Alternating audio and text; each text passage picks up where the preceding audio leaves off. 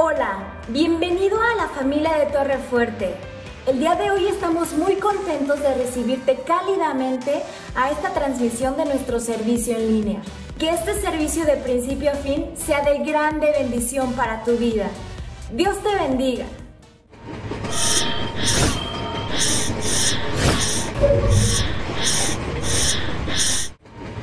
Hola, bienvenidos a esta reunión de la Iglesia Bíblica Torre Fuerte. Qué gusto que estén con nosotros hoy. Este es un tiempo muy especial. Prepárate, que todo nuestro ser alabe al Señor. Proclamamos a un Dios todopoderoso. Tú eres, Señor, la razón de nuestra alabanza y de nuestra adoración.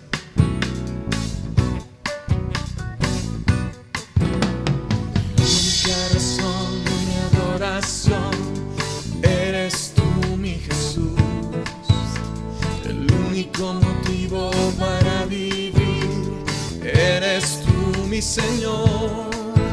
Mi única verdad está en ti, eres mi luz y mi salvación. Mi único amor eres tu Señor y por siempre te alabaré. Tú eres todo poderoso, eres grande y majestuoso,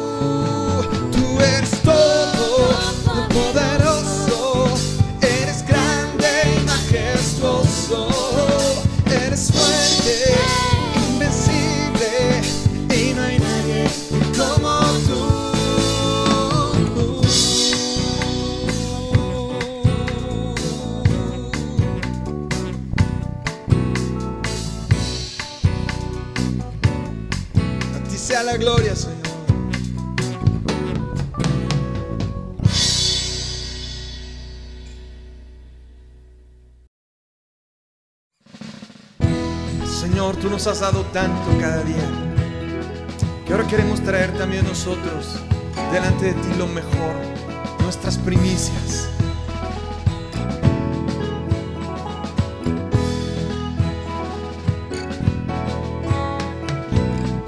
Traemos hoy ante tu altar nuestras coronas.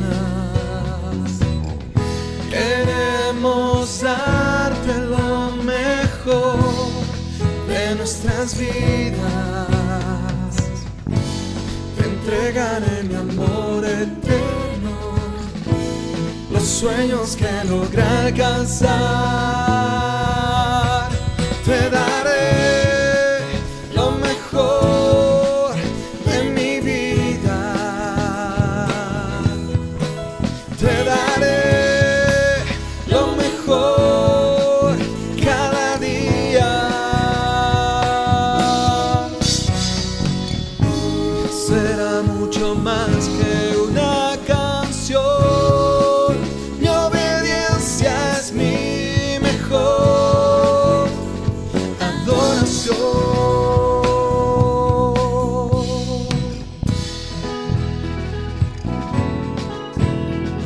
ante ti nuestras coronas Señor. Traemos hoy ante tu altar nuestras coronas. Queremos darte lo mejor de nuestras vidas. Traeremos solo las primicias pues tú mereces lo mejor.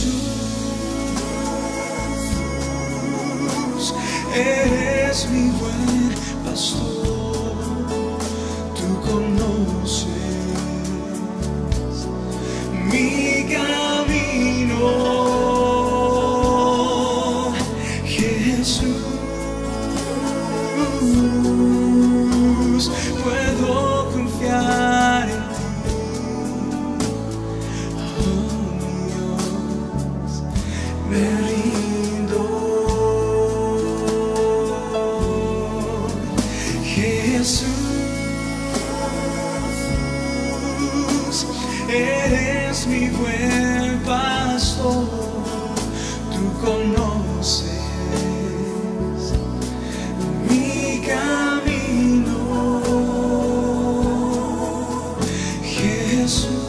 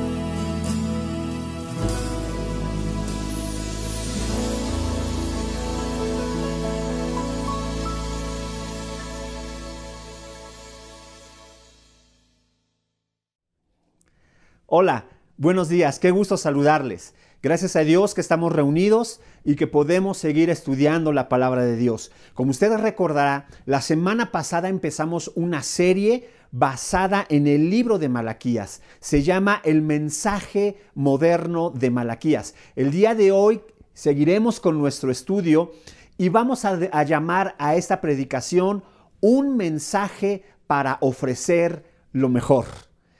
Vamos a ver qué nos enseña la palabra. Acompáñenme a leer el libro de Malaquías en el capítulo 1 a partir del versículo 6 hasta el versículo 14.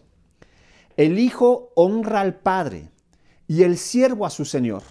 Si pues yo soy Padre, ¿dónde está mi honra? Y si soy Señor, ¿dónde está mi temor? Dice Jehová de los ejércitos, a vosotros, oh sacerdotes, que menospreciáis mi nombre y decís, ¿En qué he menospreciado tu nombre? En que ofrecéis sobre mi altar pan inmundo. Y dijisteis, ¿en qué te hemos deshonrado? En que pensáis que la mesa de Jehová es despreciable. Y cuando ofrecéis el animal ciego para el sacrificio, ¿no es malo? Asimismo, cuando ofrecéis el cojo o el enfermo, ¿no es malo? Preséntalo pues a tu príncipe. ¿Acaso se agradará de ti o le serás acepto? Dice Jehová de los ejércitos. Ahora pues, orad por el favor de Dios para que tenga piedad de nosotros. Pero, ¿cómo podéis agradarle si hacéis estas cosas? Dice Jehová de los ejércitos. ¿Quién también hay de vosotros que cierre las puertas o alumbre mi altar de balde?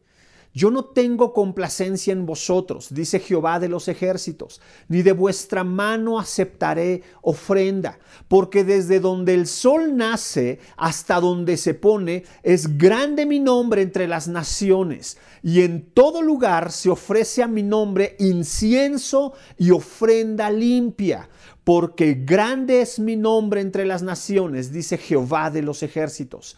Y vosotros lo habéis profanado cuando decís, inmunda es la mesa de Jehová, y cuando decís que su alimento es despreciable.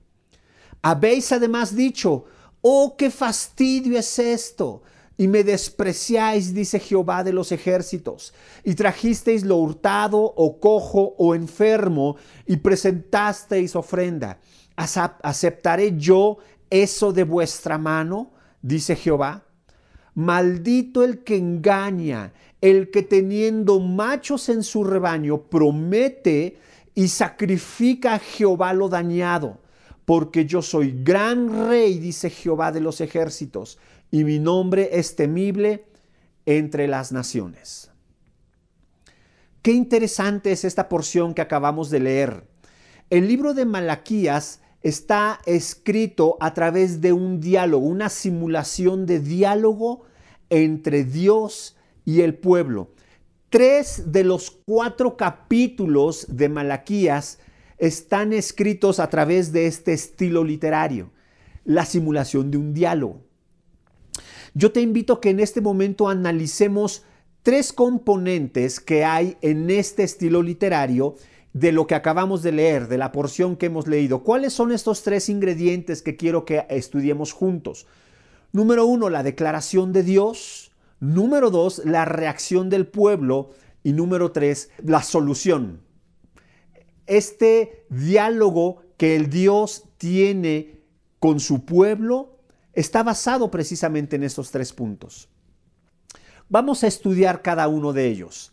Primero, ¿Qué habla Dios acerca de este diálogo? ¿Cuál es la declaración con la que Dios inicia? Es interesante que en los primeros versículos Dios hace una afirmación y a partir de esta afirmación comienza a preguntar, ¿cuál es la afirmación? Dice en el versículo 6, el Hijo honra al Padre, el siervo a su Señor. Si yo soy Padre, ¿dónde está mi honra? Si soy Señor, ¿dónde está mi temor? Y a partir de estas preguntas es que Dios comienza a cuestionar al pueblo y en específico al liderazgo, a los sacerdotes, pero en general también está cuestionando a todo el pueblo. ¿Cuál es el cuestionamiento o la declaración de Dios? En pocas palabras, ¿dónde está mi honra? ¿Dónde está mi honor? Si yo soy Dios, si yo soy Padre, ¿dónde está aquello que me corresponde? ¿Por qué es importante? ¿Por qué para Dios es importante cuestionar al pueblo y cuestionar al liderazgo sobre la falta de honra y la falta de honor? ¿No es Dios lo suficientemente Dios como para no necesitar la honra y el honor de las personas? Dios es más Dios si nosotros le reconocemos y le damos honra y honor. ¿Cuál era el problema? ¿Por qué Dios estaba cuestionando la falta de honra y de honor? Específicamente Dios les cuestiona sobre tres temas. Les dice, ¿por qué ofrecen un pan inmundo en primer lugar? Número dos, ¿por qué piensas que la mesa de, Jehová es despreciable? Y en tercer lugar, ¿por qué entregas sacrificios? Por debajo de lo requerido, en pocas palabras. ¿Por qué entregas sacrificios que no cumplen con los estándares que Dios exige, que Dios pide y que Dios demanda? En pocas palabras, Dios está diciendo, la falta de honra y la falta de honor que tú no me estás dando es porque estás menospreciando mi templo, estás menospreciando mis ofrendas y estás menospreciando aquello que merezco. Me estás dando algo que no merezco. En pocas palabras, no estás dando lo mejor. Por eso esta predicación se llama un mensaje para ofrecer lo mejor, porque el principal cuestionamiento de Dios hacia el liderazgo y hacia el pueblo en general es, no me estás dando lo mejor, no me estás ofreciendo lo mejor. ¿Por qué el pueblo y el liderazgo no estaban ofreciendo lo mejor? ¿Por qué nosotros en ocasiones no le ofrecemos lo mejor a Dios? Entendemos que hay dos causas principales. Puede haber más, pero entendemos que hay dos causas principales. La primera, por un corazón no agradecido. ¿Por qué es importante tener un corazón no agradecido, eh, un corazón agradecido. porque es malo tener un corazón que no es agradecido? En la palabra hay varios versículos que nos hablan acerca de ser agradecidos delante de Dios y ser agradecidos entre nosotros. Aún el Señor Jesucristo en el libro de Lucas en el capítulo 17 habló acerca de de los diez leprosos. ¿Lo recuerdas? Una situación en la que diez hombres fueron sanados de lepra y solamente uno regresó. Tan importante es el agradecimiento que Jesucristo, ¿cuál fue la reacción ante esta situación que solamente regresó uno de diez hombres que habían sido sanado, sanados? La reacción de Jesucristo no fue bueno, no se preocupen, no pasa nada. Está bien, mira, tú, tú sí fuiste agradecido, pero los demás, bueno, ya, no, lo hice por eso. Lo hice porque yo soy bueno y no, en realidad no buscaba agradecimiento. ¿Cuál fue la reacción de Jesucristo? ¿Dónde están nosotros? ¿No sané a diez? ¿No fueron diez los que tuvieron sanidad? ¿Por qué nada más regresó uno? ¿Dónde están nosotros nueve? Es decir, para Jesucristo la falta de agradecimiento era un problema, era algo anormal. Tan es así que lo, lo, plasmó y lo dejó bien en claro. Tan es así que puntualiza y dice, ¿dónde están los demás? Los otros nueve también tendrían que haber venido a agradecer. La falta de agradecimiento es un problema desde el punto de vista de Dios. ¿Por qué? Porque lo que nosotros entreguemos va a ser directamente proporcional al nivel de agradecimiento. Seguramente si alguien te trae de la tienda una paleta o te trae de la tienda una goma de mascar, un chicle, pues estás agradecido, pero con un gracias es suficiente. Te agradezco el detalle, muchas gracias. Y sientes que has correspondido a, lo que la persona hizo por ti. Pero si esa persona te trae tu postre favorito, probablemente tu nivel de agradecimiento es mayor. Oye, muchas gracias. Oye, en verdad, gracias, aprecio el detalle, te lo agradezco. Pero si en lugar de eso te llevan a, a, cenar a tu restaurante favorito y te dan el mejor platillo, tu nivel de agradecimiento es mayor. Oye, en verdad, muchas gracias. Lo vas a agradecer tres, cuatro veces. A diferencia de cuando te regalan una paleta, que lo agradeces una ocasión o tal vez dos. ¿Por qué? Porque lo que nosotros agradecemos representa lo importante que es para nosotros lo que hemos recibido. Si yo agradezco poco es porque lo que recibí es necesario que te dé ese tipo de agradecimiento. Pero cuando agradezco mucho y reconozco, en verdad te lo agradezco, qué detalle, en serio, muchas gracias. Eso significa que estás reconociendo lo que has recibido. Lo que Dios está diciendo aquí es, ¿sabes cuál es el problema? Que tú no eres agradecido porque no le estás dando valor a lo que te he dado. Cuando nosotros no somos agradecidos, con Dios, en pocas palabras lo que estamos diciendo es, Dios gracias, es bueno lo que me diste, no tanto, pero gracias. Y con un gracias es suficiente. Con un gracias siento que he cumplido el nivel de agradecimiento que requiere esta acción. Por lo tanto, es importante ser agradecidos. Cuando damos lo mejor, es una forma en la que reconocemos nuestro nivel de agradecimiento. Estoy tan agradecido que quiero darte lo mejor. Estoy tan agradecido que quiero hacer lo mejor para ti. Alguna ocasión tuve la oportunidad de estar algunos meses en, la sierra de Zacatecas.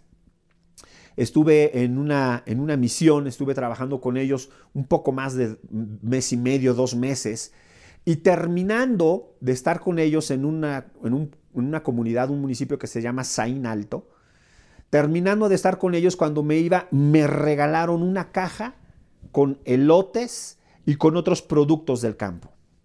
Y cuando me la recibieron, yo tenía toda la intención de recibirla, lo agradecí, les dije en verdad, oigan, muchas gracias, se los agradezco, pero la persona con la cual fui a trabajar se me acerca y me dijo, estas personas te están dando lo mejor que tienen. Para ellos es algo importante. No a cualquiera le regalan de su cosecha.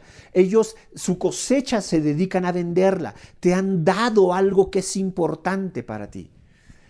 Lo importante entonces no era el producto en sí, sino lo que representa cuando nosotros agradecemos a Dios, cuando nosotros entregamos lo mejor de nosotros, estamos representando la actitud de nuestro corazón. Y principalmente estamos mostrando que reconocemos lo que Dios ha hecho con nosotros. Colosenses en el capítulo 3, versículo 23, habla de esto. Todo lo que hagáis, hacedlo de corazón, como para el Señor, y no para los hombres. ¿Te das cuenta? Te está diciendo en pocas palabras que si vas a hacer algo, hazlo como para el Señor. ¿Por qué dice hazlo como para el Señor? Porque parte del hecho o parte del principio de que si haces algo para Dios, tiene que ser lo mejor. Hazlo tan bien, hazlo tan excelentemente como si lo estuvieras haciendo para Dios. Está partiendo del principio de que para Dios aquello que hagas debe ser lo mejor. No puedes entregar otra cosa por debajo de lo mejor cuando le ofreces algo a Dios. La primera razón por la cual podemos no estar ofreciendo lo mejor a Dios es porque no estamos siendo agradecidos. Y eso es incorrecto, eso está mal. La segunda razón por la cual podemos no estar entregando a Dios lo mejor es porque no hemos entendido la naturaleza de Dios. No hemos entendido que Dios nos da lo mejor. ¿Por qué Dios exige lo mejor? ¿Por qué no es suficiente una buena intención? Porque Dios es fiel a su propia naturaleza. Es decir, Dios nos dio lo mejor. Por eso pide lo mejor de nosotros. Cuando Dios habló con el pueblo de Israel una vez que lo sacó de Egipto y les hablaba de la tierra prometida, siempre se refirió a la tierra prometida como algo abundante. Nunca les dijo, los voy a sacar de Egipto, de donde son esclavos, y los voy a llevar a otra tierra donde también van a ser esclavos, pero van a ser mejor tratados, van a tener mejores condiciones, vas a seguir siendo esclavo, pero ya no un esclavo tan maltratado, un esclavo con mejores condiciones, con mejores derechos. Así no lo planteó Dios. Tampoco les dijo, los voy a llevar a una tierra buena, pues no está tan mal.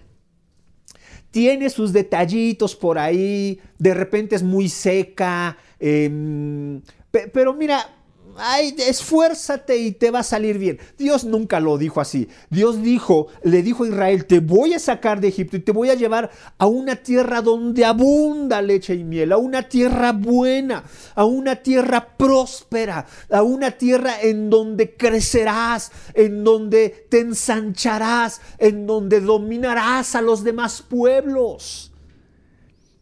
Dios le prometió a Israel lo mejor y le dio lo mejor. Las promesas de Dios siempre están en función de lo mejor. Jesucristo cuando vino a nosotros siempre nos habló de qué. Jesucristo dijo, el enemigo viene solamente para robar y matar y destruir, pero yo he venido para que te vaya bien. Yo he venido para que no estés tan triste. No, Dios, Jesucristo no lo planteó así.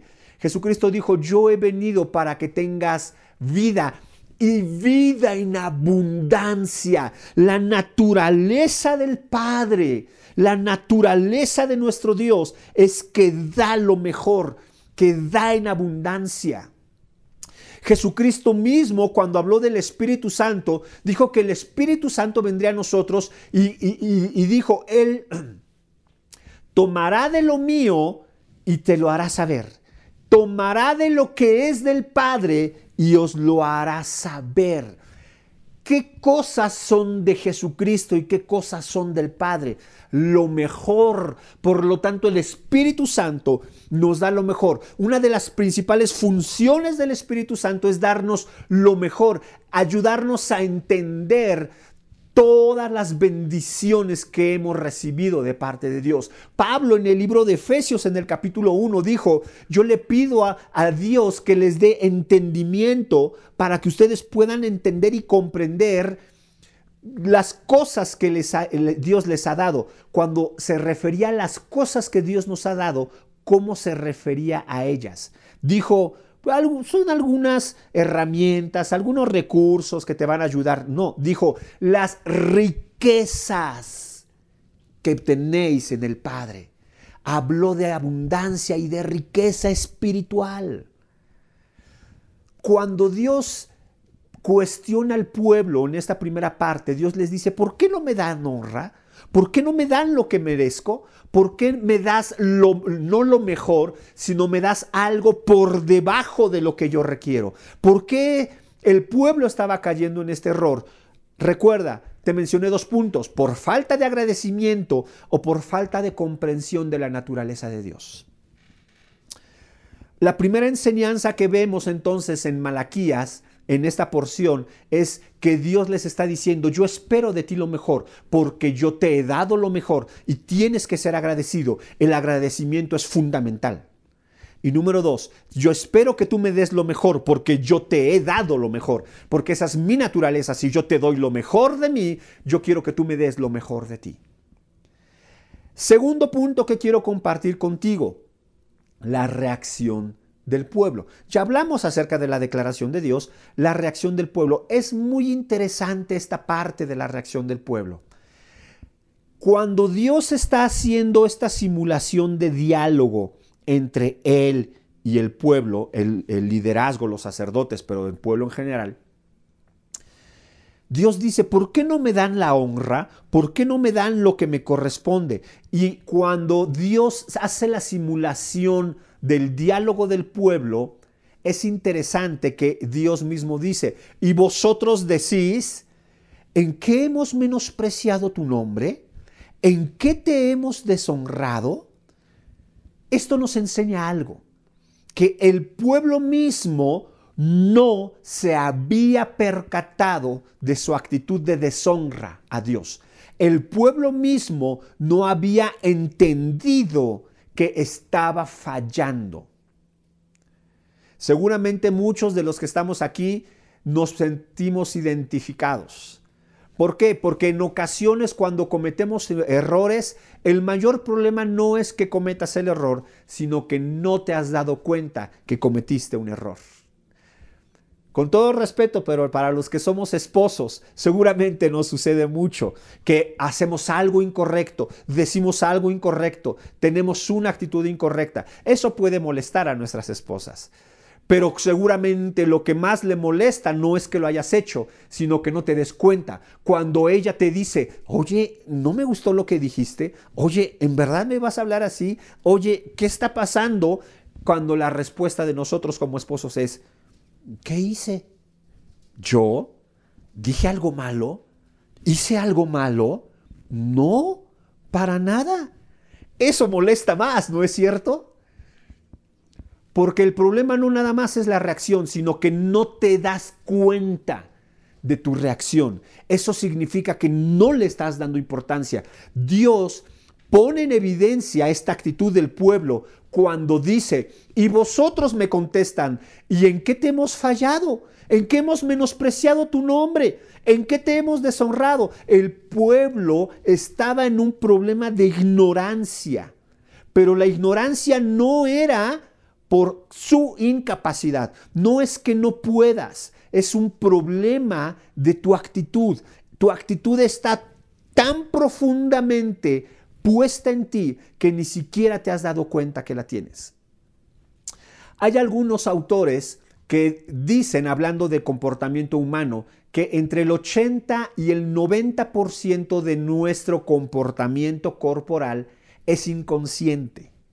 ¿Esto qué significa? Habemos personas que cuando nos enojamos o cuando alguien dice algo que no nos gusta, hacemos una expresión, hacemos una cara una cara de desagrado. Pero sabes, muchas veces ni siquiera nos damos cuenta que lo estamos haciendo. Está, está tan arraigado en nosotros que yo no me doy cuenta que cuando mis hijos dicen algo con lo que yo no estoy de acuerdo, inmediatamente hago una cara de desagrado. Y esa cara de desagrado les puede molestar más a mis hijos que mis palabras. El problema es que, ¿sabes yo por qué hago esa cara de desagrado? No porque lo pensé, no porque dije, ah, acaba de decir algo mi hijo o mi hija, este es el momento perfecto para hacer mi cara de desagrado. Y hago mi cara de desagrado. Es algo inconsciente. Está tan arraigado en nosotros que ni siquiera nos damos cuenta que estamos teniendo ese comportamiento o esa actitud. En pocas palabras, es una falta de sensibilidad es interesante que Dios compara el pecado con la lepra.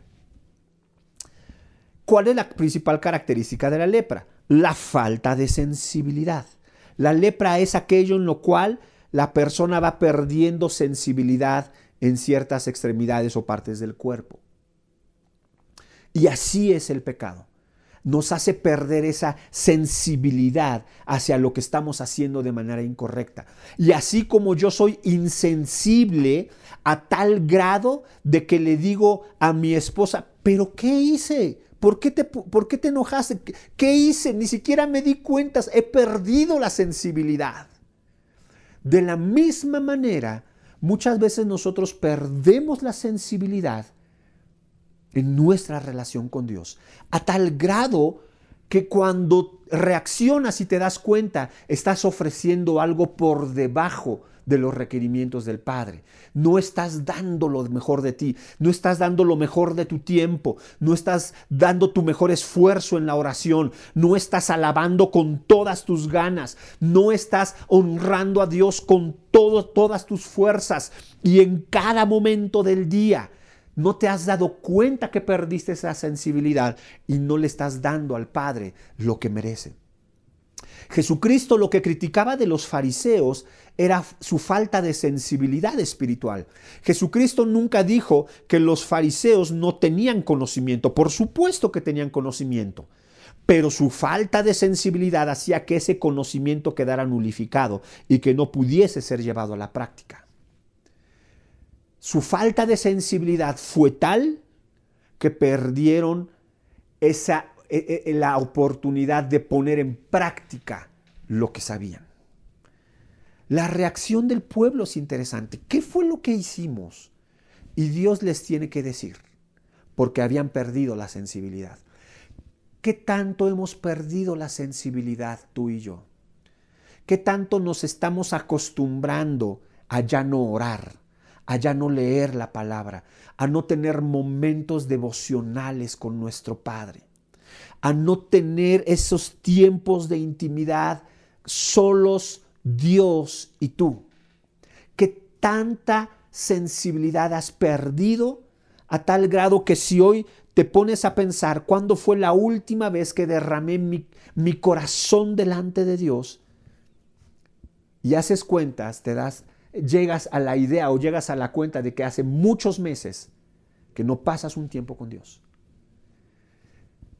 El problema es que poco a poco empezaste a perder la sensibilidad. A tal grado que llegaste al punto en el cual estabas dando no lo mejor, sino estabas dando lo necesario. Dios, gracias por este día, te amamos en el nombre de Jesús, amén. Vámonos. ¿En qué momento perdimos la sensibilidad? Ay, mi lectura diaria. El versículo que, a ver, ¿qué capítulo me Ay, no, está muy largo, lo divido en dos. ¡Pum! Adiós. ¿En qué momento perdimos la sensibilidad? Y Dios a través de Malaquías nos recuerda esto y dice, oye, ¿me amas como padre? ¿En dónde está mi honra? ¿Me amas como Señor? ¿En dónde está mi honor? ¿Por qué vienes y me das algo que no es lo mejor?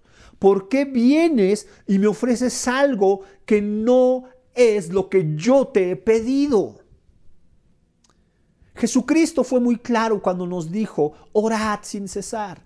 Jesucristo es muy claro cuando dijo, escudriñad las escrituras. El Espíritu Santo mismo nos invita y nos lleva a alabar, a adorar, a tener comunión con Dios. ¿En qué momento perdimos la sensibilidad y empezamos a dar algo que no es lo que Dios requiere de nosotros?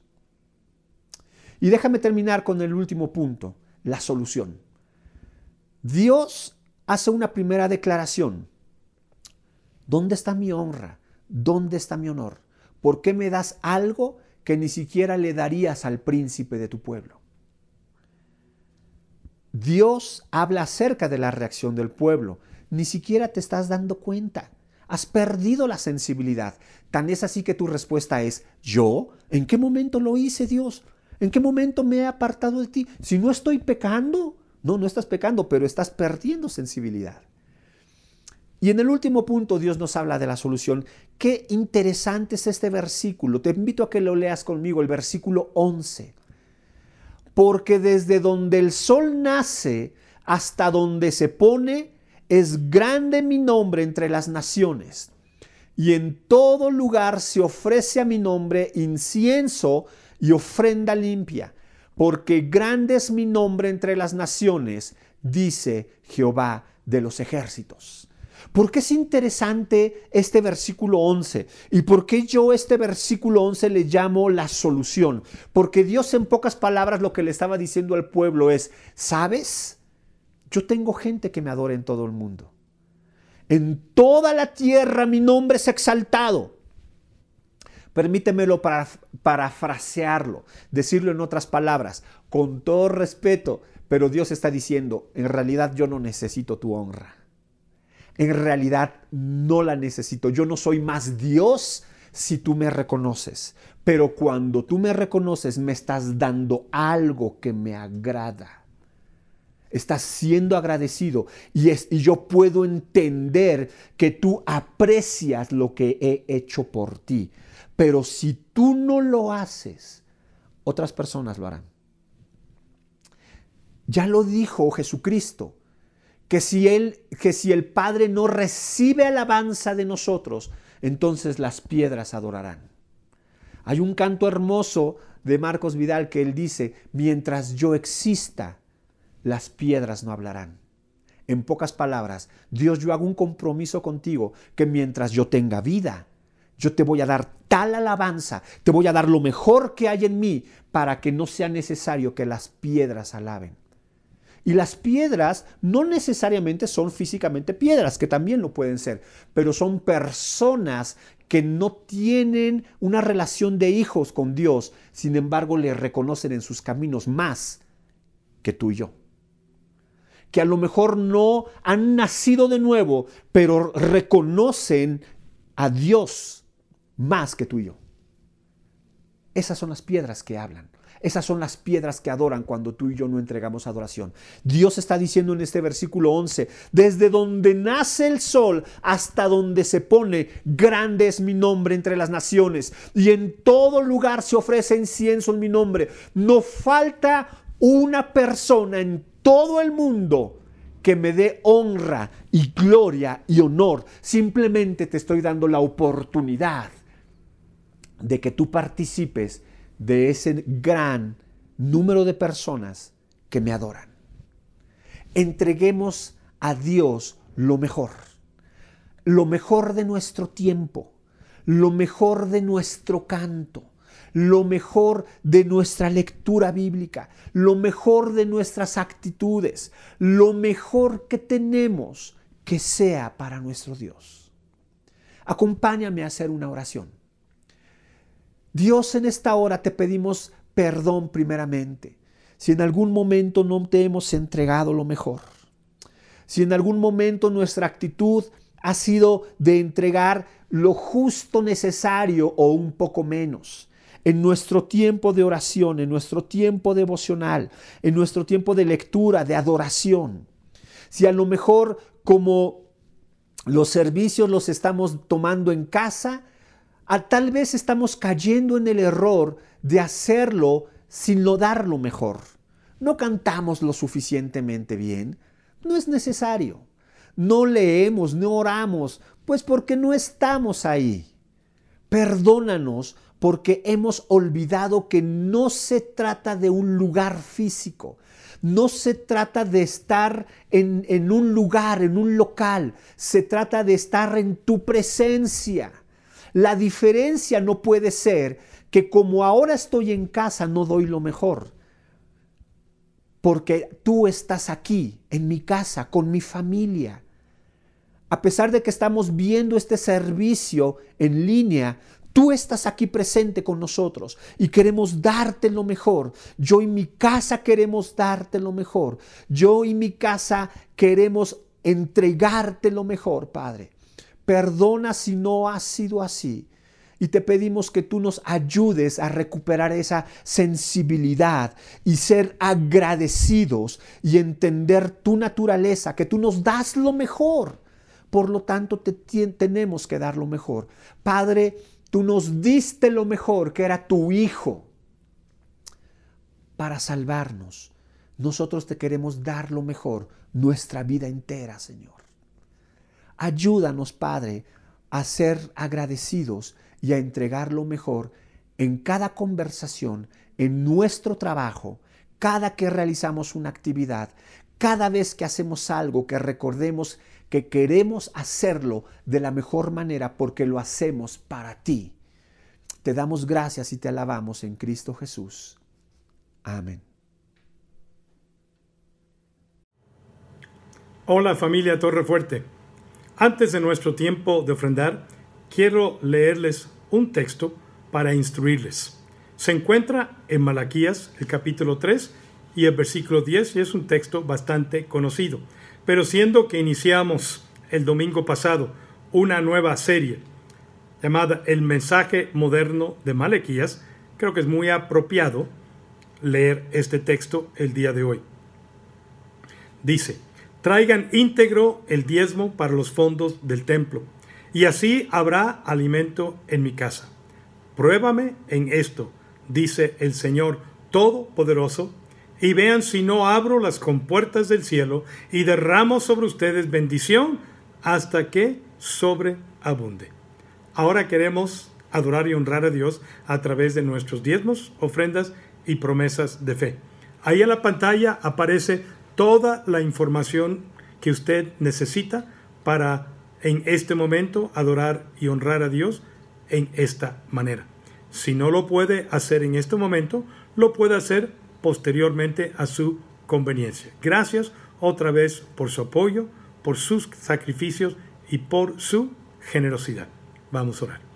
Padre, gracias te damos el día de hoy por tu provisión para nosotros, tu provisión diaria, tu provisión fiel, tu provisión para nosotros como personas, tu provisión para nosotros como familias, tu provisión para nosotros como iglesia. Y para todos nuestros ministerios. Gracias Señor por proveer. Gracias por la generosidad y los sacrificios de tu pueblo. Bendíceles, especialmente para aquellos que están sufriendo económicamente. Provee para ellos lo necesario, Señor, para cubrir su techo, su comida y también cualquier cosa relacionada a una enfermedad física. Gracias, Señor. Aprovechamos este momento para mencionar a Karina Araiza, una de nuestras misioneras que se encuentra eh, contagiada ya por el COVID-19 Gracias que no le ha pegado muy fuerte, pero la ponemos en tus manos para que tú la sanes, le des una completa y pronta recuperación. Así como por todos aquellos que están enfermos en nuestra iglesia, no solamente por el COVID-19, pero por cualquier otra enfermedad, pedimos, Señor, sanidad para cada uno de ellos. Darles a cada uno lo que necesitan, Señor. Toca sus cuerpos, provee para ellos, darles una pronta y completa recuperación. Te lo pedimos en el nombre de Cristo Jesús. Amén. Estén atentos, por favor, a nuestra página Facebook y a nuestra página web para cualquier anuncio sobre el regreso a reuniones presenciales. Ya van a ser casi seis meses. La última reunión presencial que tuvimos fue el 15 de marzo. Así que prácticamente ya son seis meses que no hemos podido reunirnos por órdenes de gobierno y también por precaución. Recuerden que ya estamos en semáforo naranja y también ya tenemos autorización de protección civil tanto del Estado de Puebla como el municipio de San Andrés Cholula. Así que podríamos reunirnos. ¿Por qué no lo hemos hecho? ¿Por qué no lo hemos anunciado? ¿Por qué no hemos tomado esa decisión? Porque consideramos todavía al ver las estadísticas que no sería una decisión prudente irresponsable. Oren por nosotros, que Dios nos dé sabiduría.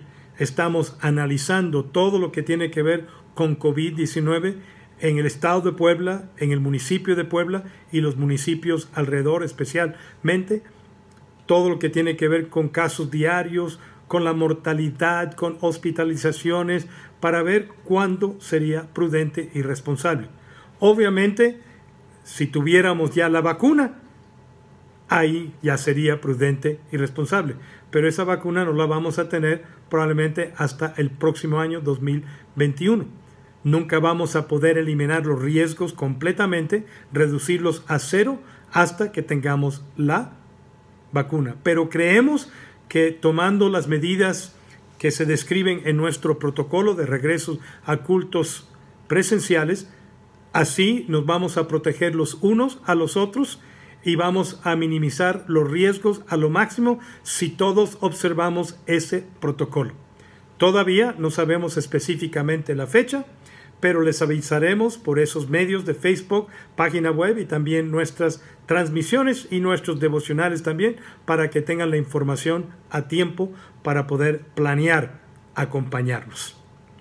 Ya pusimos ese protocolo aprobado para poder regresar a cultos presenciales en nuestra página Facebook bajo la sección que dice videos, busca álbumes, busca ahí, perdón, busca fotos, álbumes, bajo fotos y ahí van a encontrar un álbum que dice videos, ahí lo van a encontrar. Y también lo podrán ver en nuestra página web juntamente con un PDF que es descargable. Por favor, consulta ese protocolo para estar preparados para cuando regresemos a cultos presenciales. Seguimos transmitiendo, como siempre, devocionales a las 9 de la mañana, lunes a sábado, salvo el domingo que es a las 8 de la mañana. Las reuniones de los miércoles a las 19 y media o 7 y media de la tarde y los domingos a las 9 de la mañana, seguido por una transmisión para niños a las 12 de la tarde. Si no puede conectarse en esos horarios, podrá ver esas transmisiones después en nuestra página web o en nuestro canal YouTube. Ahí estarán todas disponibles hasta la fecha. Tenemos varios medios para que puedan contactarnos, para comunicarnos sus necesidades. Los teléfonos de la iglesia de lunes a viernes, 9 de la mañana a 4 de la tarde. El correo electrónico institucional de la Iglesia Bíblica Torre Fuerte, que van a verlo ahí en pantalla, o lo pueden encontrar en la sección Contáctanos ahí en la página web. Si tiene algún motivo de oración, por favor déjenlo en el inbox del Facebook de la iglesia para incluirlo en la lista de peticiones que tenemos también nos pueden dejar un mensaje privado ahí. El número de emergencias las 24 horas al día para el mes de septiembre será el celular del pastor David Pedraza y es el siguiente 22 25 36 09 02. Otra vez 22 25 36 09 02 y ahí lo están viendo en la parte inferior de la pantalla. Nuestro próximo servicio en línea será, sí, este próximo miércoles 16 de septiembre. No tomamos vacaciones, vamos a reunirnos en línea. Será a las siete y media de la tarde este próximo 16 de septiembre. Un nuevo ciclo de clases de la Escuela de Desarrollo Cristiano inició este sábado pasado, 12 de septiembre. La información de las clases la podrán ver ahí en su pantalla. Tenemos ocho clases en total, cuatro el sábado en el horario 9 de la mañana, 10 de la mañana, 11 de la mañana y 12 de la tarde. Y también los días lunes, miércoles, jueves y viernes por la tarde. Ahí van a ver en pantalla cuál materia, cuál curso, cuál va a ser el día y cuál va a ser su horario. Ojalá nos pueda acompañar para mejor prepararles para servir a Dios. Muchas gracias por acompañarnos hoy. Que Dios les bendiga. No se olviden de conectarse hoy a las 12 de la tarde para el servicio de los niños. Tampoco se olviden, no se olviden de acompañarnos mañana a nuestro devocional en línea con uno de los pastores de la Iglesia Bíblica Torre Fuerte a las 9 de la mañana. Antes de ser despedidos, ¿por qué no alabamos a Dios juntos?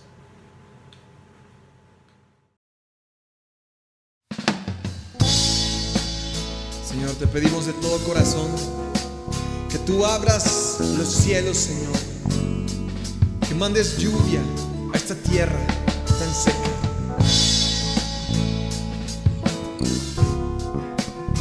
Te lo rogamos, Señor. Abre los cielos sobre nosotros. Abre los cielos, Señor, haz llover. Somos tu pueblo somos tu viña.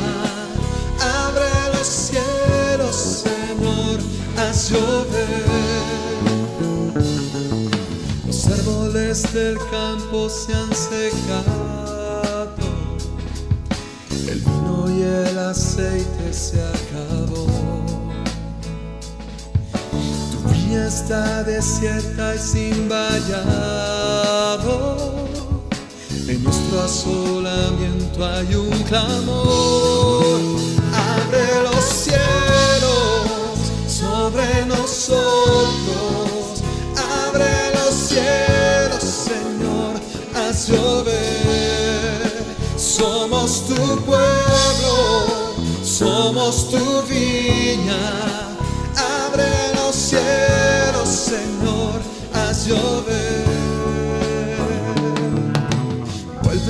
A ti, nos volveremos. Ven a darnos vida una vez más. Vuélvenos de nuestro cautiverio. Haz tu remanente regresar. Abre los cielos sobre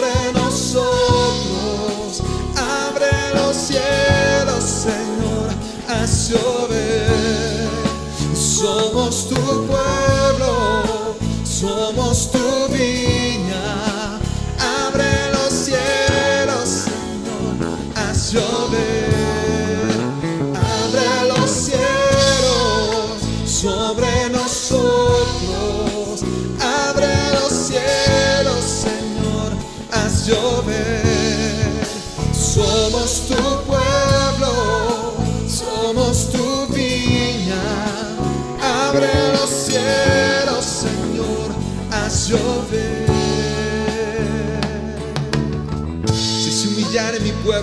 sobre el cual mi nombre es invocado, entonces yo iré desde los cielos y perdonaré sus pecados y sanaré su tierra.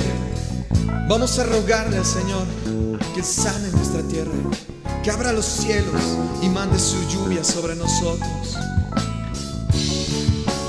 Abre los cielos sobre nosotros. Abre los cielos, Señor, llover. Somos tu pueblo, somos tu vida. Abre los cielos, Señor, haz llover. Abre los cielos sobre nosotros. Abre los cielos, Señor, haz llover. Somos tu pueblo,